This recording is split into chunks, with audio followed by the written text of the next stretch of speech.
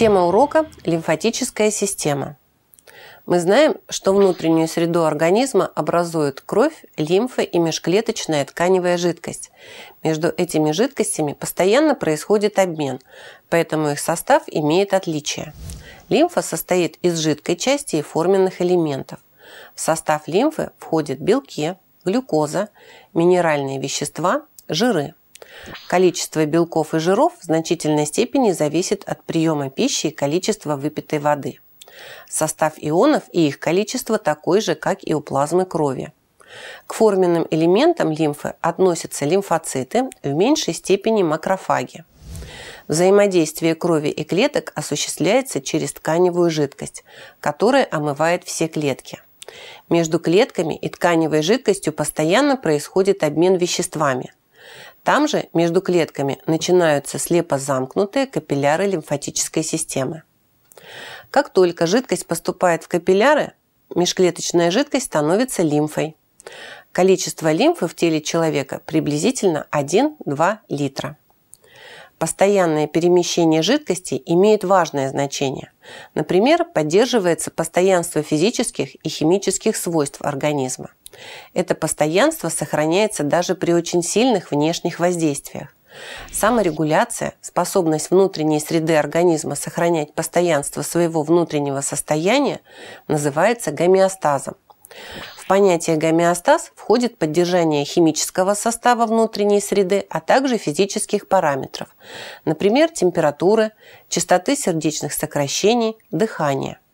Поддержание этого постоянства необходимо для нормальной работы всего организма. Лимфатическая система организма выполняет ряд важных функций. Она является системой дополнительного оттока межтканевой жидкости от органов. Лимфатические узлы, встречающиеся на пути оттока жидкости, являются биологическими фильтрами, в которых обеззараживаются и задерживаются чужеродные элементы и микроорганизмы. В лимфатических узлах созревают и попадают в кровь Б-лимфоциты, вырабатывающие антитела. Всасывание жиров из тонкого кишечника происходит в лимфатических капиллярах. Капилляры кровеносной системы не способны пропустить из межклеточного пространства крупные молекулы белков, поэтому сначала они попадают в лимфатический проток, а затем в кровеносный сосуд. Разберем строение лимфатической системы.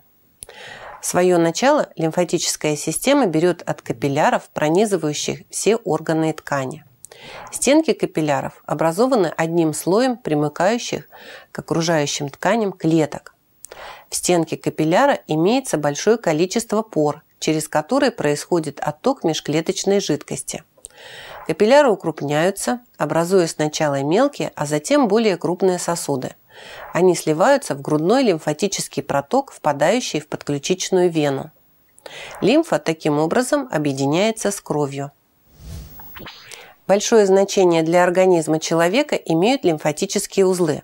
Лимфатический узел – периферический орган лимфатической системы, выполняющий функцию биологического фильтра, через который протекает лимфа, поступающая от органов и частей тела. Лимфатические узлы имеют овальную или бобовидную форму и размеры от 0,5 до 50 мм, образованы соединительной тканью. Притекающая лимфа приносит чужеродные антигены, которые попадают в нее из межклеточной жидкости. Макрофаги и Б-лимфоциты проводят реакции иммунного ответа, то есть осуществляют фагоцитоз, захват и переваривание твердых частиц и образуют антитела. Лимфоузлы располагаются гроздями около кровеносных сосудов, таким образом, чтобы быть на пути инфекции. Обнаружить их можно в локтевом сгибе, в подмышечной впадине, в коленном сгибе, а также в паховой области. Лимфоузлы шеи обеспечивают защиту от инфекций и опухолей головы и органов, расположенных в области шеи. Огромное количество лимфатических узлов находится в брюшной и грудной полости. Что способствует движению лимфы? В лимфатических капиллярах имеются клапаны, которые могут открываться и закрываться, пропуская межклеточную жидкость внутрь капилляра. В организме непрерывно происходит образование межклеточной жидкости. Ее давление больше, чем давление лимфы в лимфатических сосудах, поэтому межклеточная жидкость поступает в капилляр. Другой причиной движения лимфы является присасывающее действие грудной клетки во время вдоха. Сокращение гладкой мускулатуры стенок лимфатических сосудов и сокращение скелетных мышц – это третья причина движения лимфы. Обратному току жидкости препятствуют полулунные клапаны, располагающиеся по ходу сосудов.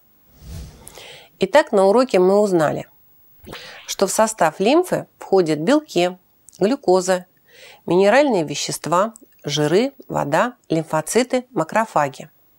Химический состав лимфы зависит от количества воды и пищи, принятой человеком. Постоянное движение лимфы в организме поддерживает его гомеостаз. Лимфатическая система выполняет ряд важных функций. Удаляет избыток воды из тканей, фильтрует микроорганизмы и чужеродные элементы, транспортирует жиры и крупные молекулы белков. Движение лимфы однонаправленно, начинается в межклеточном пространстве и заканчивается в кровеносной системе. Лимфатический узел – это биологический фильтр. Движению лимфы способствует непрерывное образование жидкости в организме, присасывающее действие грудной клетки во время вдоха, сокращение гладких мышц лимфатических сосудов и скелетных мышц.